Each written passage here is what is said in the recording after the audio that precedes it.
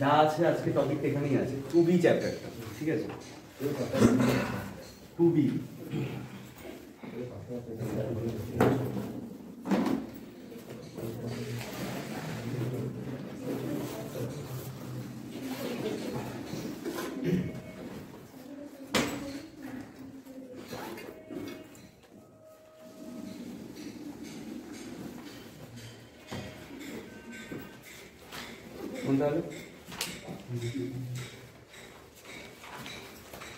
Two B চ্যাপ্টারটা হলো আমাদের মূল শিখতে হবে হলো কম্পোজিশন অফ ম্যাপিং এখানে লেখা আছে composition of mapping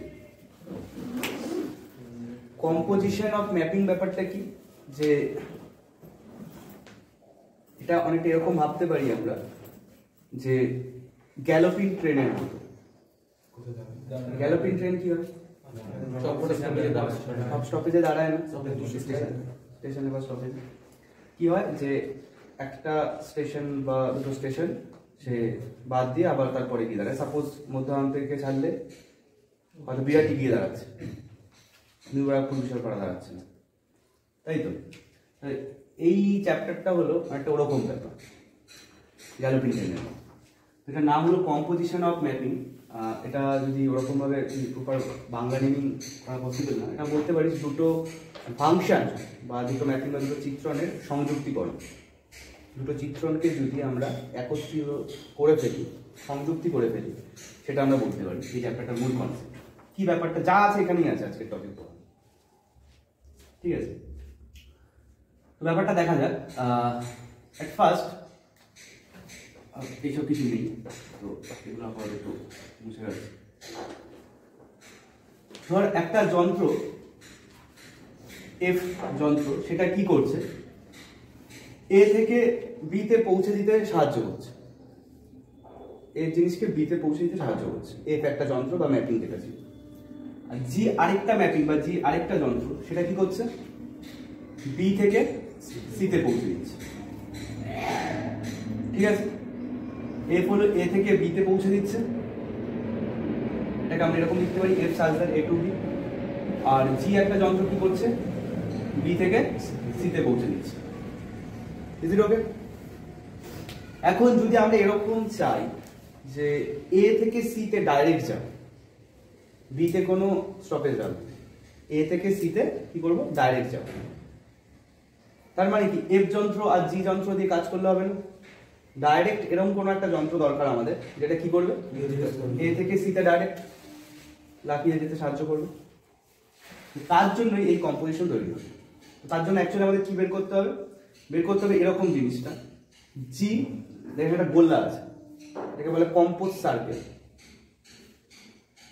জি এই সার্কেল এফ এটাকে এরকম ভাবে পড়ব। কি পড়ব? G compose F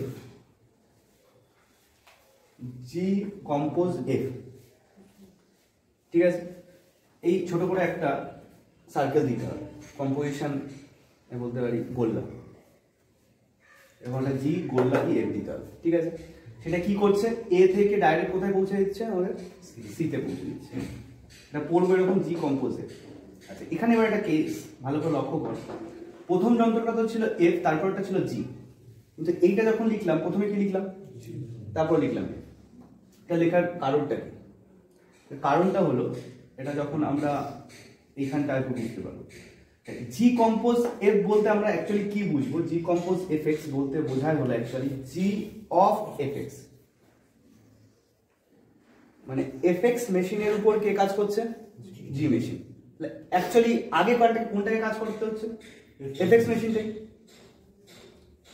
বলতে পারি সেটা ওই কারণে এটাকে এরকম ভাবে লেখা হয় জি কম্পোজে সেটা আমরা বের করব কি করে? G compose F x equal to G of F x clear আচ্ছা এইবার ধর তোকে কেউ বলে দিয়েছে কোনো একটা কোশ্চেনে এফ এক্স বলে দিল টু এক্স প্লাস ওয়ান আর জি এক্স বলে দিলে এক্স স্কোয়ার ঠিক যেটা এখানে লিখতে পারছিস F x equal to x plus one R G x equal to x square বলে দিল।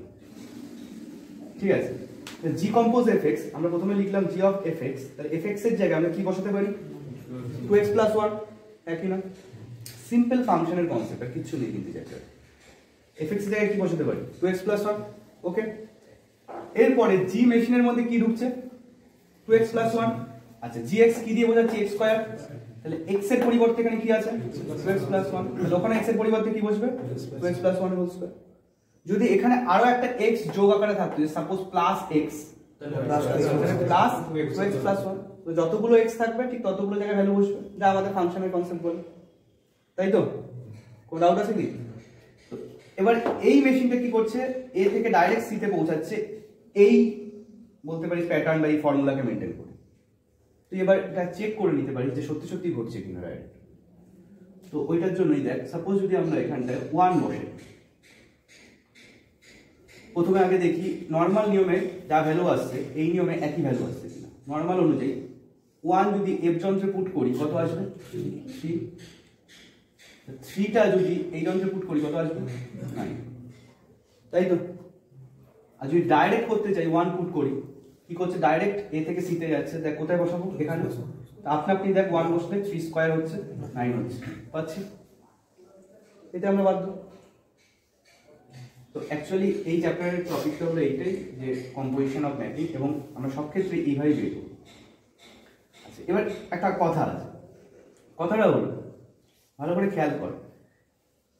এফ আমাদের যাচ্ছিল এ থেকে বি তে, আর জি যাচ্ছিল কি? বি থেকে সি তে। তাই তো? তো দেখ, মাঝখানের এই দুটো সেটকে কমন থাকতে হবে না? তাহলে এফ এর কোডোমেন পরেরটা তো আমাদের কোডোমেন হয়। এফ এর কোডোমেন আর জি এর ডোমেন অবশ্যই সেম হতে হবে। অনেকটা ওই রিলেশনের ট্রানজিটিভের মতো, অথবা অনেকটা ম্যাট্রিক্সের সেই গুণের মতো। একই না তাই তো? যে প্রথমটার কোডোমেন আর দ্বিতীয়টার ডোমেন যদি সিমিলার হয় তবেই কিন্তু আমরা এই প্রপার্টি বা এইটা অ্যাপ্লাই করতে পারি এবং একটা জিনিসকে বের করতে পারি। বোঝা যাচ্ছে? আর যদি সেম না হয়, তাহলে কি লিখব? জি কম্পোজ এফ তার অস্তিত্ব নেই।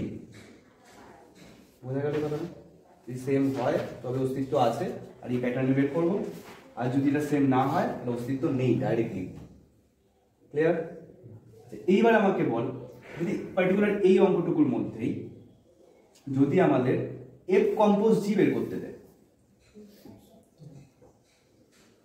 তাহলে কি আমরা অ্যাকচুয়ালি বের করতে আদৌ পারব? আমাদের সমস্যাটা কোথায়? এই মাত্র যেটা ডিসকাশন করছিলাম সেই জায়গাতে। যে কি জি এর কাজ তো কি হচ্ছে? প্রথমে তো জি এর কাজ হচ্ছে। যেটা ভেতরে আছে সেটার কাজ আগে হচ্ছে। জি এর কাজটা কি হচ্ছে? জি বি থেকে সি তে পৌঁছে দিচ্ছে। আর এফ এর কাজটা কি? এ থেকে বি তে পৌঁছাচ্ছে তাহলে অ্যাকচুয়ালি কি জি এর যেটা এইটা আছে আর এফ এর যেটা ডোমেনটা এদের কি ইকুয়াল হতে হতো? এখানে কি ইকুয়াল আছে? নেই? তাহলে কি আমরা আদৌ এফ কম্পোজ বের করতে পারব এখানে? পার্টিকুলার যদি এইটুকু থাকে, তাহলে এফ কম্পোজ বের করা সম্ভব হচ্ছে না। কারণ কি? যে জি এর কোডোমেন আর এফ এর ডোমেন সমান নয়। এর রিজনটাই লিখে দেবো। তাই এফ কম্পোজ জি নির্ণয় সম্ভব নয়। এর অস্তিত্ব নেই। ক্লিয়ার আচ্ছা এইবার যদি তোকে এরকম করে যে এ বি সি এরকম ভাবে আলাদা আলাদা সেট দিল না। সবাইকে ভাব সেম সেট করে দিল। সবার নেমিং ভাব এরকম আছে এন এন ফর কি বলছি? বল। এন ফর ন্যাচারাল নাম্বার কত থেকে শুরু হয়? ওয়ান থেকে? ওয়ান থেকে। তাই তো?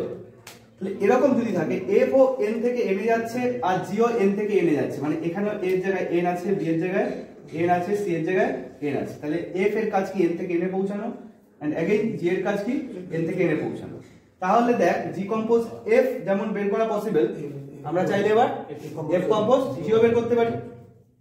হ্যাঁ কি না? মানে এবার তো আর কোনো সেট নিয়ে প্রবলেম হচ্ছে না। তাহলে এফ কম্পোজ জি সেক্ষেত্রে কত আসছে ভ্যালু যদি এফ অফ তাহলে এফ অফ জি এক্স হবে। এবার জি এক্সের ভ্যালু কত? এক্স স্কোয়ার এট ফার্স্ট সেটা বসাবো। এবার এক্স স্কোয়ারটা কোন মেশিনে বসছে? এফ মেশিনে তাহলে এক্সের জায়গাতেই বসবে। বা যেখানে যেখানে এক্স দেখতে পাবো। তাহলে কি আসছে? Two x square plus one তাহলে সেক্ষেত্রে আমরা এফ কম্পোজ বের করতে পারব।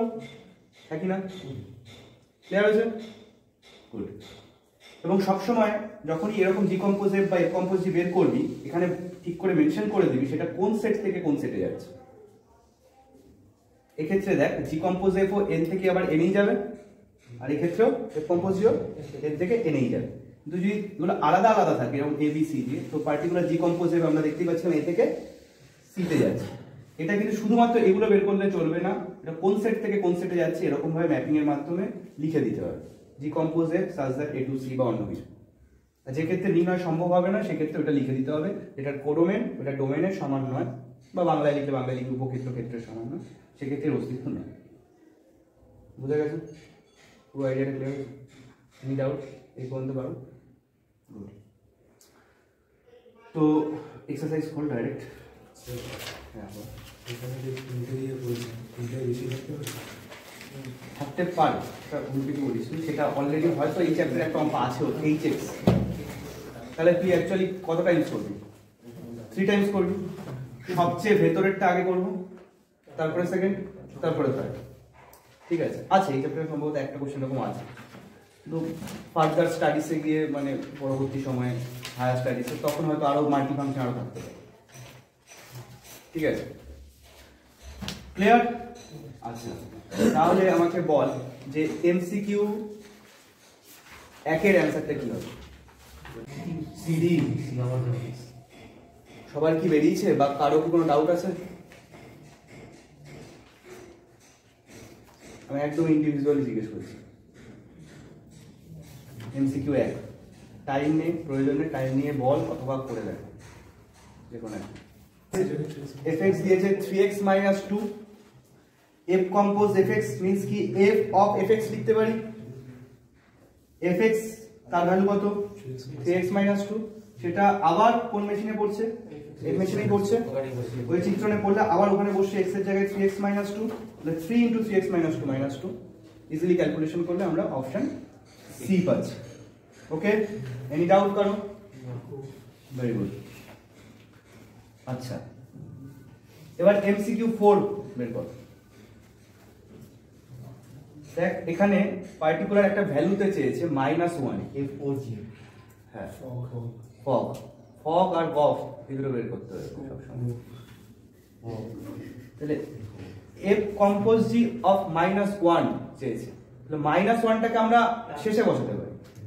তাই তো? তাহলে আমরা মাইনাস চুয়াল্লিশ। চুয়াল্লিশ। হচ্ছে। বেশ কর সবাই কর। দেখ আমরা চাইলে মাইনাস ওয়ানটা একদম শেষেও বসাতে পারি আবার চাইলে ডাইরেক্ট বসাতে বসাতেও যেতে পারি। এখানে ডাইরেক্ট বসাতে বসাতে গেল। আচ্ছা। এবার দেখ তো অতি সংক্ষিপ্ত দুই। অতি সংক্ষিপ্ত একটাকে বাদ দিয়ে দে।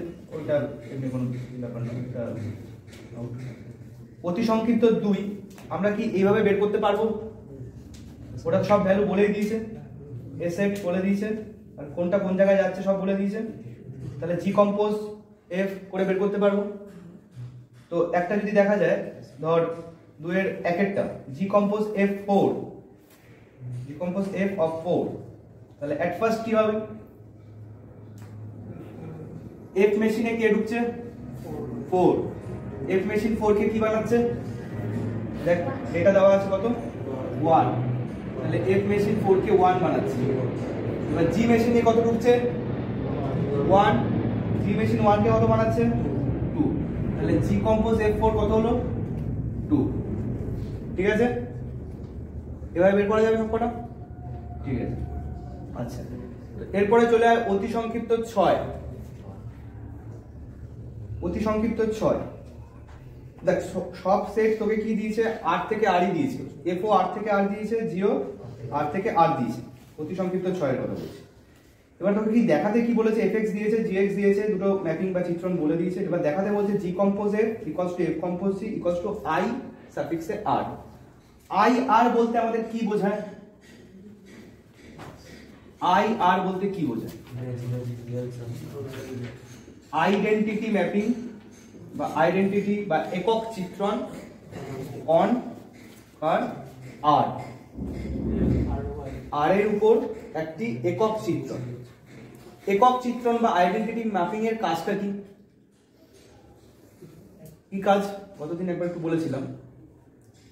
যে ওই যন্ত্রে যে মানই বসাই না কেন কি দেবে? ও সেই মানকেই দেবে। লাইক আমাদের মিরর আয়নার মতো। তাই তো? যে আমরা ব্যাপারটা এরকম যে এটার মধ্যে এক্স বসালে এক্স পাবো মানে ওয়ান বসালে ওয়ান পাবো টু বসালে টু পাবো এরকম করে। আছে তাই তো? তাহলে এখন আমাদের কি বের করতে হবে? আগে জি কম্পোজ এফ বের করতে হবে। দেখব যে জি কম্পোজ এফ এর ভ্যালুটা কি? এক্স আসছে। তো কর আসছে? ঠিক আছে পরে একবার। G compose F x x আসছে কিনা দেখ, আর আলাদা করে দেখ এফ কম্পোজ জিটা এক্স আসছে কিনা। আসছে তো? আসছে আচ্ছা বেশ। যদি চলে আসে, তাহলে ফিনিশিং টাচটা এরকম ভাবে দিই। আমি জাস্ট একটা দেখাচ্ছি যে এফ কম্পোজ জি এক্স ভাগ এক্স এলো খেয়াল করে F compose G x equals to x এলো তাহলে এক্সের পরিবর্তে আমি কি লিখতে পারি? I R x identity mapping তাহলে বোথ সাইড থেকে এক্স সরে গেলে এফ কম্পোজ কে কি বলতে পারি?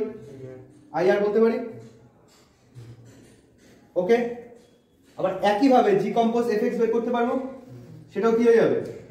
আই আর এর সমান আলটিমেটলি কি দাঁড়াল? F compose G equals to G compose এর equals to I R clear তোমার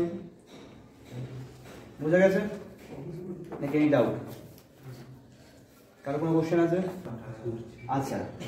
তাহলে আমাকে বলতো অতি সংক্ষিপ্ত সাত করা পসিবল অতি সংক্ষিপ্ত সাত এটা করা পসিবল এফ কম্পোজ এফ বলে দিয়েছে আই আর করা পসিবল তার মানে F compose F x equals to কি আমরা এক্স লিখে করব? এফ কম্পোজ এফ ওরা বলেছে হলো আই আর তার মানে কি এফ কম্পোজ এফ এক্স মানে কি আই আর এক্স তাই তো? অতি সংক্ষিপ্ত সাত তাহলে আমরা বলতে পারি এরকম যে F of F x equals to কত? এক্স দেখা যাবে? তারপরে এখানে পরপর বসিয়ে হবে। এরপরে কি করতে হবে? উভয় দিকে তুলনা করব। উভয় দিকে কনস্ট্যান্টের মান তুলনা করা যাবে। হ্যাঁ আর এক্সের সহগ থাকলে এক্সের সহগ তুলনা করব। এক্স স্কয়ার যদি আসে, তাহলে উভয় দিকে এক্স স্কয়ারের সহগ তুলনা করব। যেমন ডান দিকে কনস্ট্যান্ট কিছু আছে তাহলে কনস্ট্যান্ট কি ধরবো ডান দিকে? জিরো আর বাঁ দিকে কনস্ট্যান্ট যা থাকবে থাকবে। যদি এবার ডান দিকে এক্সের আহ, তুলনা করি ডান দিকে এক্স কত? এক্সের সহগ? ডান দিকে বলছি। ওয়ান এখানে যা আসবে তার সাথে তুলনা করব। যদি কোনো এক্স স্কয়ার আসে ডান দিকে এক্স স্কয়ারের সহগ কত? জিরো আর বাম দিকে এক্স স্কয়ারের সহগ যেটা আসবে এটার সাথে তুলনা করব। এরকম করে এখানে শুধুমাত্র এর মান চেয়েছে নাকি এ ও বি চেয়েছে?